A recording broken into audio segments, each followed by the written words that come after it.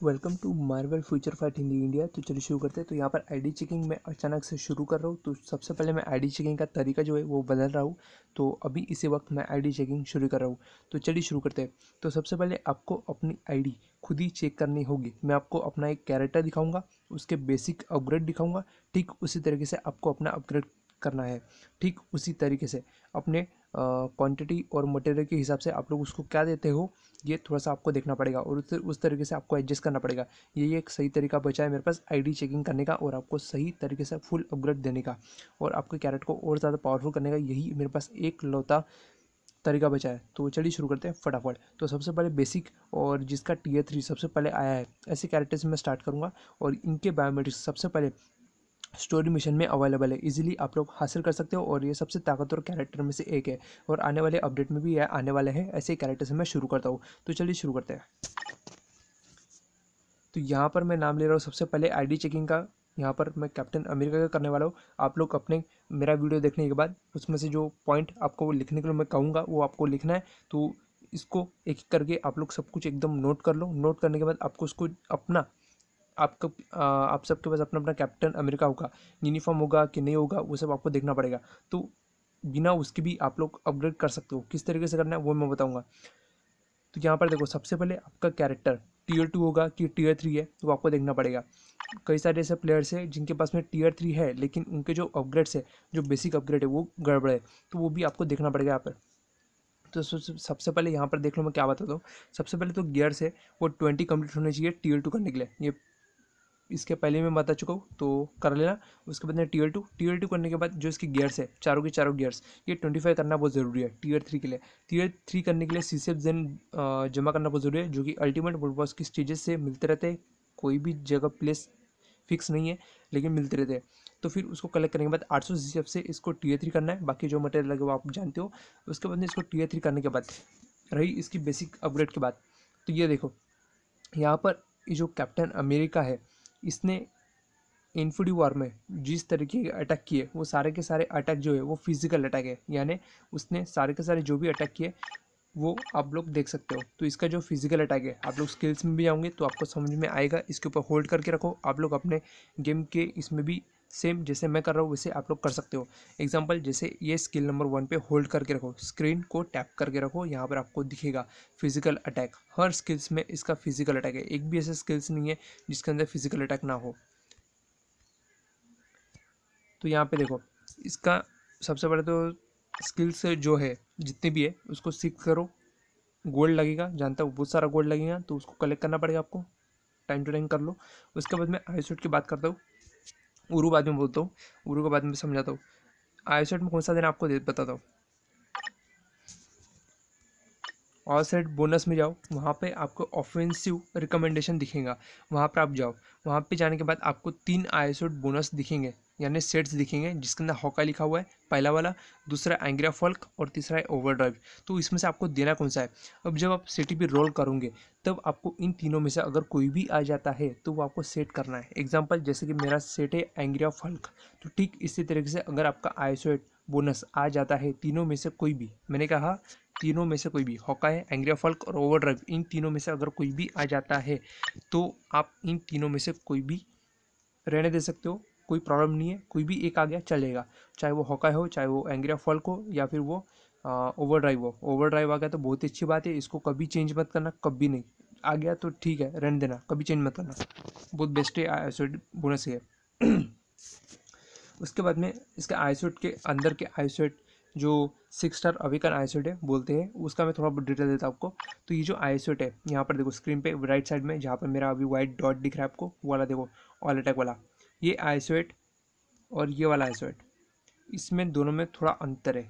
ये जो आइसोएट है, जहाँ पे अभी मैं वाइट कलर का डॉट दिख रहा है, ये आइसोएट में फ़िज़िकल अटैक और एनर्जी अटैक दोनों भी आते हैं।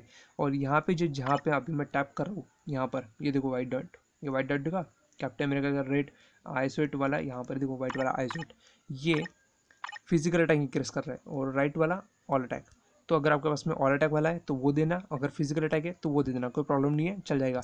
उसके बाद में, बाकी जो आई सेट जो सेट के हिसाब से, यानी जो सेट के हिसाब से आपने दिए, वो थोड़ा सा देख के देना। एंग्री ऑफ़ फ़र्क एक्टिवेट हुआ होगा यहाँ पर।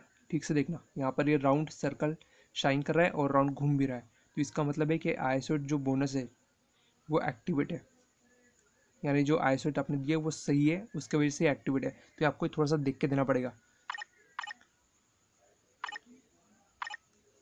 फ़िज़िकल अटैक ऑल अटैक ये दो चीज़ें यहाँ पर अगर आपके पास में होगी तो वो दे देना। अगर ऑल अटैक नहीं है तो फ़िज़िकल अटैक देना। एनर्जी अटैक मत देना। धन रहे एनर्जी अटैक मत देना। एनर्जी डिफेंस मत देना। ऑल डिफेंस देना और सोच समझ के देना। जो मैं दिखा रहा हूँ, वही देना। स्क्रीनशॉट ले लो। ये आईडी चेकिंग का वीडियो है तो थोड़ा सा आपको अपनी खुद की चेकिंग खुद करनी पड़ेंगे क्योंकि तीन हज़ार लोगों के या उससे ज़्यादा के लोगों के आईडी चेक करके मैं उसको समझाना मेरे लिए बहुत भारी पड़ेगा। इसलिए मैं खुद का ही कर रहा हूँ आपको देखना पड़ेगा मेरा वाला और अपने आप से कंपेयर करना पड़ेगा कैरेक्टर को। तब तो आपको सम, आपको समझ में आएगा कि क्या करना था और हमने क्या किया है और कहाँ गलती हुई है और क्या सुधारना है किस तरीके से सुधारना है वो मैं बताऊँगा।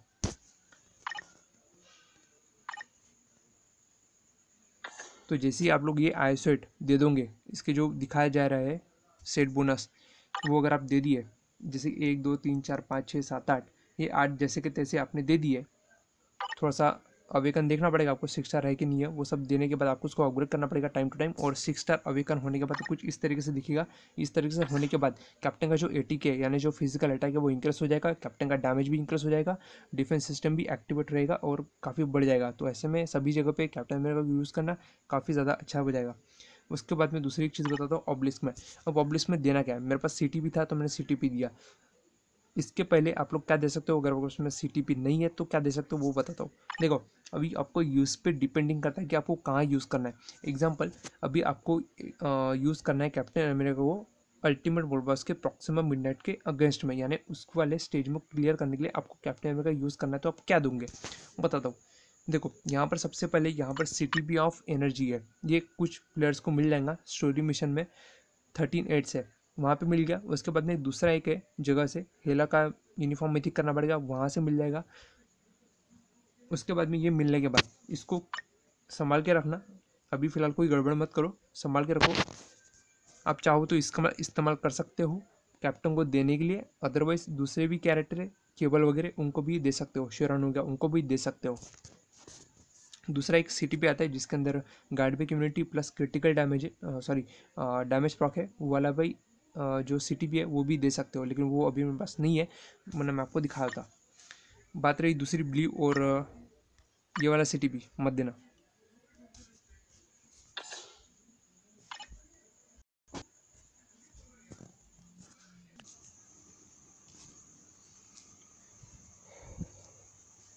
ठीक है तो रही बात इसके उरु की। तो इसके उरु में क्या करना है, आपको बताता हूँ मैं, क्या सेट करना है, क्या देना चाहिए और क्या देने से क्या फ़ायदा होगा, वो भी बताता हूँ। तो देखते रहो अभी फटाफट। देखो कैप्टन अमेरिका को जो उरु देना है, वो आपको दो उरु देना है। देखो, सबसे पहले तो सेटिंग किस तरीके से करते हैं उरु का, बिना लगाए भी आप लोग एम्पलीफिकेशन कर सकते हो। करके दिखाता हूँ अभी। देखो